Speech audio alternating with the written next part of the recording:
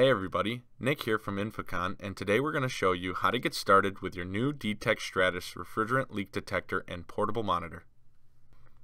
Inside the carrying case, you'll find spare filters, an extra long probe, AC wall charger with multiple blades for use in different regions, DC car charger, micro USB cable, and earbuds.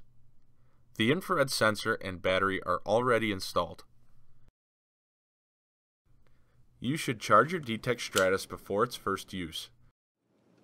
Please note that you can use your D-TEK Stratus while it's charging. A full charge takes less than 3 hours. To turn D-TEK Stratus on, long press the power button. D-TEK Stratus will go through a quick warm-up for 45 to 90 seconds. When warm-up is complete, D-TEK Stratus is ready for use. Be sure to never cover the exhaust port on the back of D-TEK Stratus. This can cause false readings and alarms. D-TEK Stratus has three operating modes, Cloud Hunting, Pinpoint, and Manual Zero. Press the Mode button to toggle through the modes. The current mode is indicated at the bottom of the screen. D-TEK Stratus always starts up in the last mode that was used. The volume button on the side toggles volume from full volume to 50% to mute. Cloud Hunting mode uses a ppm readout to help you navigate through the cloud of refrigerant. To use Cloud Hunting mode, slowly move through the suspect areas and observe the ppm reading. The higher the ppm, the closer you are to the leak source.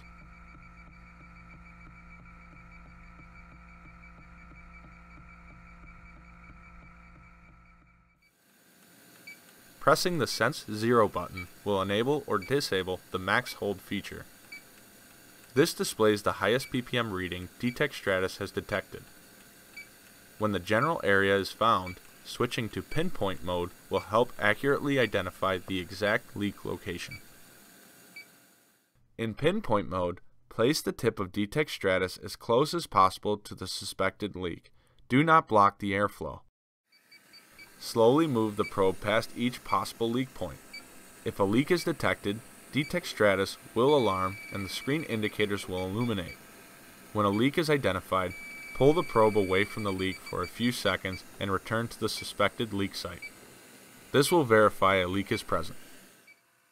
Pinpoint mode has four sensitivity settings, super, high, medium, and low.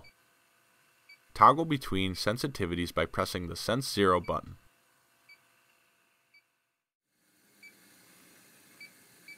Manual Zero mode operates in a similar way to pinpoint mode but allows the user to manually zero the instrument to the background refrigerant by pressing the Sense Zero button.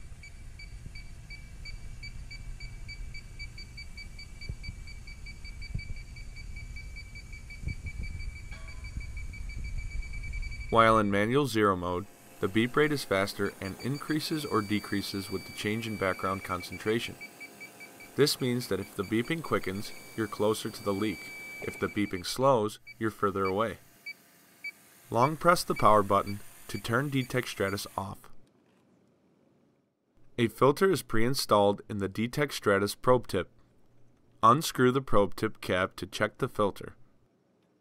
If the filter looks dirty, gets wet, or clogged, replace and discard the old filter. When a filter is only wet, it can be reused once dried. Insert the new filter into the probe tip and screw on the tip cap. The extra long probe can be used for those hard to reach places. To install the extra long probe, unscrew the original probe using a 10mm wrench. Screw the extra long probe on and torque to about 35 inch-pounds or 4 newton meters of torque. Torque doesn't have to be exact, but be sure to not over-tighten. Finally, install a filter in the tip and screw on the probe cap from the original probe. Changing sensors with D-TEK Stratus is simple.